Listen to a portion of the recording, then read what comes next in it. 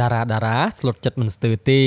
ពេលដឹងថាអៀងជេឡាទទួលមរណភាពសួស្តីបងប្អូនជនរួមជាតិទាំងអស់សូមស្វាគមន៍មកកាន់ Channel Watch New KH សូមអភ័យទោសរាល់កំហុសខុសឆ្គងដោយសារពាក្យពេចន៍ត្រង់ណាមិនសមរម្យសូមខន្តីអភ័យទោសពីសំណាក់បងប្អូនអ្នកទស្សនាសូមកុំភ្លេចជួយចុច Subscribe និងចុចសញ្ញាកណ្ដឹងដើម្បីទទួលបាននូវវីដេអូក្រោយៗទៀតតោះដើម្បីកុំឲ្យខាតពេលយូរយើងចូលទៅក្នុងអត្ថបទព័ត៌មានយើងវិញ ហើយសោកស្ដាយស្ទើរគ្រប់គ្រប់គ្នា ពីពេលនេះទៅតារាចម្រៀងសម្ដែងកំ pl ែងអៀងជេឡាបានលាចាក់លោកនេះហើយហើយបន្សល់ទុកនៅ តែក្តីអាឡោះអាល័យពីសំណាក់ញាតិមិត្តក្រុមគ្រួសារមិត្តភ័ក្តិក៏ដូចជាអ្នកគ្រប់គ្រងជាច្រើនជាក់ស្ដែងក្រោយពីទទួលដំណឹងភ្លាមមានតារាមិនតិចទេដោយក្នុងនោះភាគច្រើនបំផុតបានសម្ដែងក្តីសោកស្ដាយនិងតក់ស្លុតនឹងដំណឹងមរណភាពរបស់លោកអៀងជេឡាអ្នកដែលបង្ហោះសាររំលែកទុកនៅក្នុងនោះរួមមានលោកប៉ែនចម្រុងអ្នកនាងឈុនលក្ខិណាលោកជាសវណ្ណរិទ្ធកញ្ញាថនលក្ខិណាអ្នកនាងខាត់សុខឹមអ្នកនាងសុគន្ធនីសាអ្នកនាងពេជ្រសុភាកញ្ញាណូម